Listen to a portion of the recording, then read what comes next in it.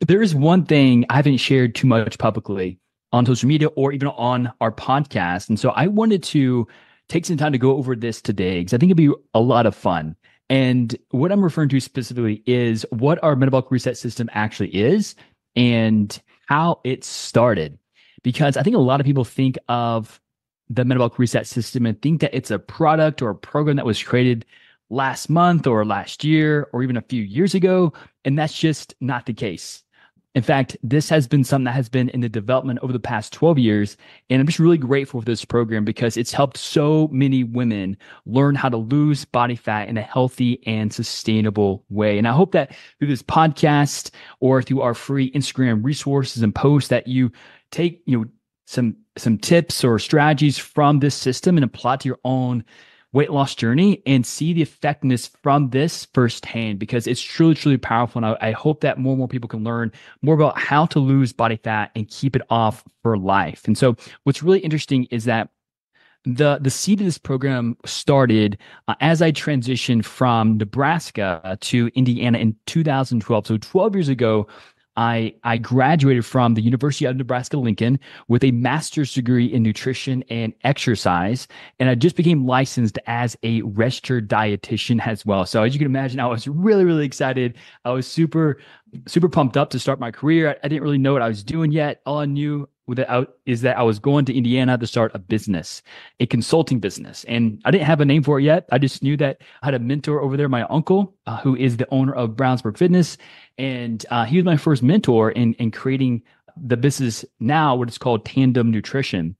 And what was really interesting was I still remember the very first few clients I had. Everything that I learned from four years of undergrad and two years of grad school was applied to the first 12 week program I created. I remember looking back and I had such a, like a big ego on, I mean, I thought I knew everything, right? I thought that I had all the answers and I thought I knew exactly what to do to help people lose fat for life. And boy, was I wrong. In fact, I remember telling myself one time that the key to sustainable fat loss is through through the adoption and maintenance of healthy habits. And no matter what you did, as long as you maintain these healthy habits, after you lost the weight, you'll you'll keep it off. And I, after a few years, and I'll, I'll tell the story here in a second, but after a few years, I realized that is not the case because I thought that if you just change up your habits in a healthy way, that you would end up losing this weight and, and keeping it off for life. And I remember the first few clients I had, maybe the first 50 to 75, the first, you know, few years of business. I I, me- I remember and this is time too, I was working as a wellness coordinator at a bank. So I wasn't full time with Tandem yet. But I remember, you know, ladies who go throughout my program, it's a 12 week program. I think it was called like Tanda, like Tone Up program, something. And I remember, you know, they had a lot of success. They lost weight. The, the issue wasn't weight loss. The issue was absolutely after when they were done. In fact, I remember seeing some of my past clients on social media, you know, 12 years ago, and even then just approaching me and say, Hey, you know, I lost a lot of weight throughout your program, but you know, I actually gained some back. I'm not really sure what to do. And that really shocked me because I thought I had figured it out. But that told me that there was a lot more to figure out that I did I wasn't aware of. And so that put me on this on this adventure of learning more about metabolism and hormones and understanding how things change. So things being metabolism and uh, physiology and and down regulation of systems that that that that causes weight regain after dieting. And so in 2015, I had the opportunity to work with a, a well-known company. I consulted for them. I'm going to leave their name private for for just legal reasons, but essentially I was a consultant for them for a couple of years. And I remember I was working with their clients and they said, Hey man, after the diet, man, just go ahead and put them into maintenance. And I thought that was a brilliant idea. And so here I am, you know, working with my clients. They would go through a 12 week fat loss phase and I didn't know what to do, right? I'm like, what do you do afterwards? How do you, how do you keep this weight off? And so I was really interested in this maintenance phase. And I thought this was the answer that, that I needed to help people keep off weight for life. And so I remember I, I was working with a few of their clients and they lost, you know, 10, 15, 20 pounds in a 12 week fat loss phase. And then I put them in a maintenance, which means I would just increase their carbs by 30, 35 grams. And there was something really interesting that happened when I did that. And that was every time, literally every time I increased carbohydrates at the end of their diet, they all lost weight. And I'm like, yo, this is really cool. And then I learned why weight loss happens after you increase calories once you've lost the weight you did. And the reason is because dieting is really stressful on the body, especially if you're training, if you're doing weight training as well. And so that that causes an accumulation, a buildup of stress. And one really unique thing about carbohydrates is that carbohydrates decrease stress levels. They decrease the hormone called cortisol. And whenever we increase calories, especially calories through carbohydrates, we see a drop in stress levels. And with a drop in stress levels, there's also a drop in cortisol and therefore water retention in the body. So when I realized that people would lose weight after eating more calories, I'm like, hey, that's really neat. So I took that to my practice and I started trying that out. And I realized that throughout the feedback, and so keep in mind, maintenance is a static phase. So maintenance is a static phase, meaning that your goal in maintenance is to maintain your current body weight. You maintain your current calorie intake and your macros. You don't change cardio. It's a very static phase. And, you know, I, after I did what I did, I, I saw changes in, in, in weight loss again. I'm like, cool. Like, what's next? What do we do? And like, there was no other like direction from the company. like, the next steps. It was just stay there for six, eight weeks and then, you know, go back into fat loss phase. But then I realized, hey, there's something really powerful here because two things happened. Weight loss dropped, hunger didn't change. I'm like, what would happen if we just, just, just, if we just keep increasing calories? And I remember that I, I had our first few clients I started doing that with. And it was really amazing to see how their bodies responded after increasing 200 or 300 or you know 400 calories higher than their ending fat loss calorie goal. And in fact, what I saw was once we increased calories back up to their new maintenance, then then we got back into fat loss phase. They lost a lot more weight and it was a lot easier. And they weren't dieting from a very low calorie level and they weren't doing a lot of cardio either. And so I remember it took me two or three years to understand how to do this effectively because in, the beginning, I was just throwing out calories after the diet. I had no method to my madness. I was like, hey, you get, uh, I was like, let's just increase by 200, by 150. I, I wasn't looking at data. And I remember a couple of clients were like, hey, I think I'm kind of regaining some weight too quickly. And so then I went back to the drawing board and I really dialed in on the data. And and that's when the metabolic reset phase was born because I knew exactly by looking at data. By the way, if you're if you're a, on a weight loss journey right now, one of the one of the most crucial points of information or data that you can be collecting throughout the week is your weight on a weekly average basis. Because as you know, weight will fluctuate up and down throughout the entire week. And number one, it will help you become less frustrated knowing that your weekly averages are hitting your weekly weight loss goal. And we can talk more about kind of what that is later. But, and also you can compare week to week and see if you're on track. And so what I realized is that having this data, looking at weekly weight loss averages, I was able, able to calculate exactly how many calories I had to increase by to get into maintenance and not above it. Because by that time, I wasn't looking at data and I was just overshooting maintenance. It was causing fat gain. And so it's it's interesting because even today, not a lot of people understand the importance of maintenance, much less the metabolic reset phase. It's like the the metabolic reset phase is different than reverse dieting. It is, and if if that would interest you in, in learning those differences, let me know. I'd be happy to have a podcast episode on that itself. But this this whole trial and error is is how I found the importance of increasing calories. Because here's here's the thing: everyone who starts a fat loss phase, they don't just start a fat loss phase to lose fat, right? They want to keep it off. But from my experience, what I've learned is that sustainable fat loss happens at the end of a fat loss phase and not the beginning. And that's that's where things were backwards from when I started in 2012. I thought at the beginning, if you just adopt these healthy habits and you just were consistent, you'd lose this, you'd lose this weight, and you'd be good forever. But I was wrong. And here's why I was wrong. Because when you diet down, when you lose body fat, and when you decrease calories, that decreases your metabolism. And whenever you lose 10, 15, 20, 30 pounds, whatever it is with your goal weight, at your goal weight, your metabolism is the slowest it's ever been. And that's why so many women and men regain weight once they're done dieting because they don't know what to do.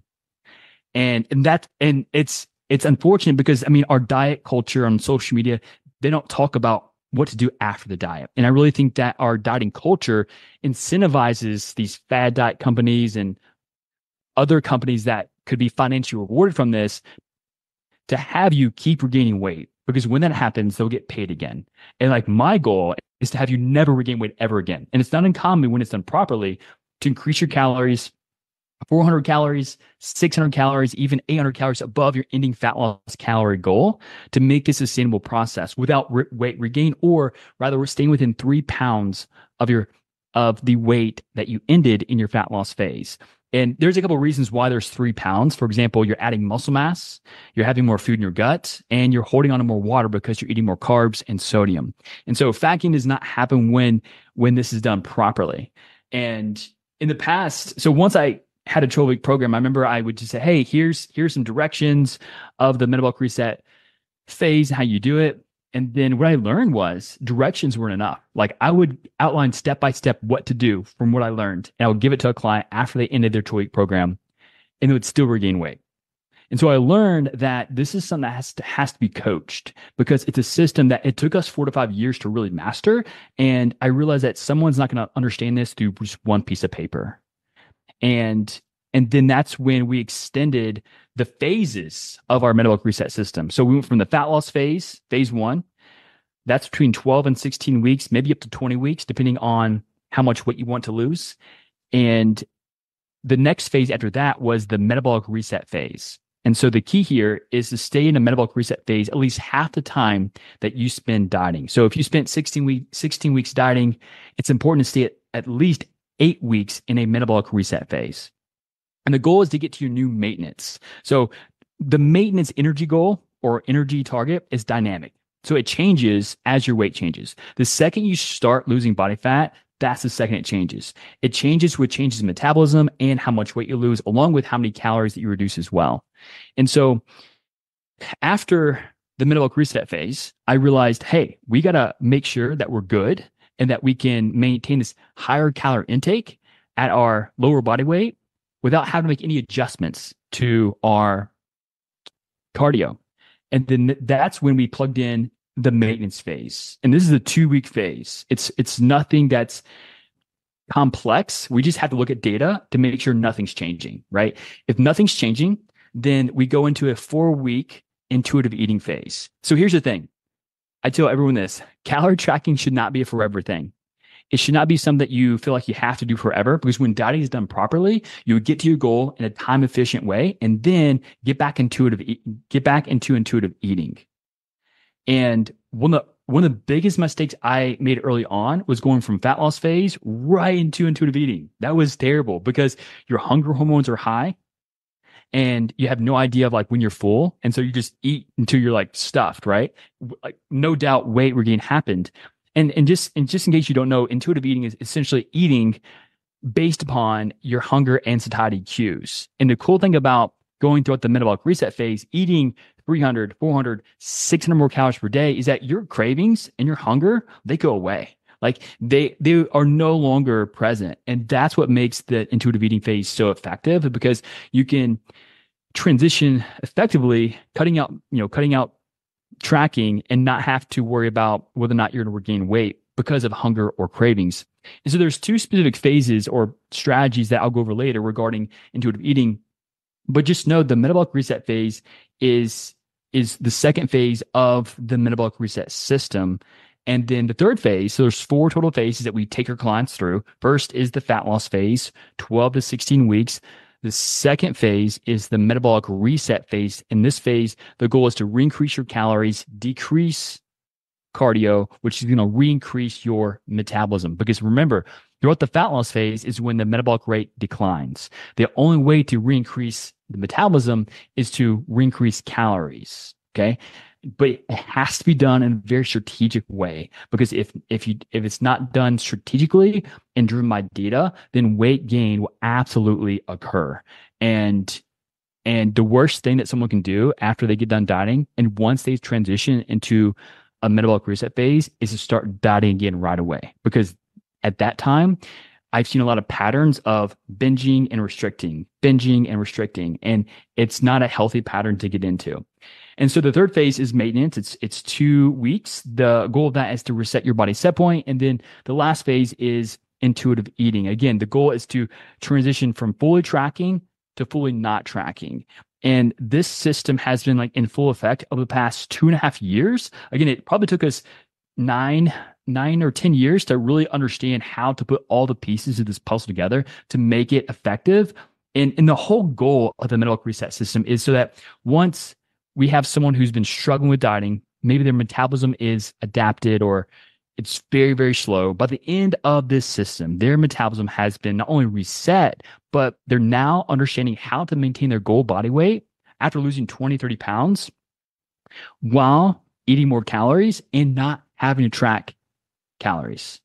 And that's the beauty of the system is that once you get through the metabolic reset phase, you have all the tools you need and you know exactly how many calories you need, how many macros you need, how to make adjustments. That's another thing that people don't realize is that throughout the fat loss phase, just like the metabolic reset phase, adjustments to calories and steps and cardio have to be made because when you start to lose body fat, your, as I mentioned, your metabolism drops. And every time it drops, you're getting closer and closer to a weight loss plateau. And the only, the only way to overcome plateaus is to increase cardio and decrease calories.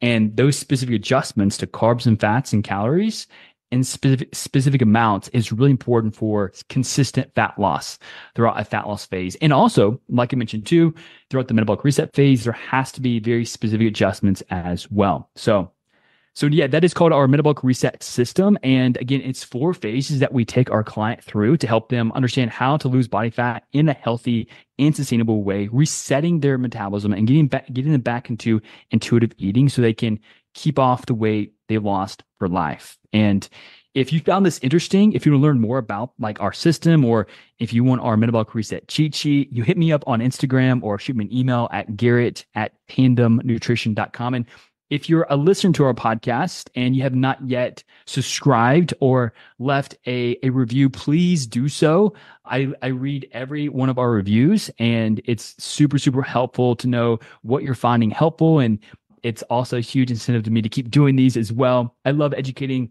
people and this is something I really enjoy doing. And your review and a subscription would be a huge blessing to me. So thank you for tuning in today's podcast episode.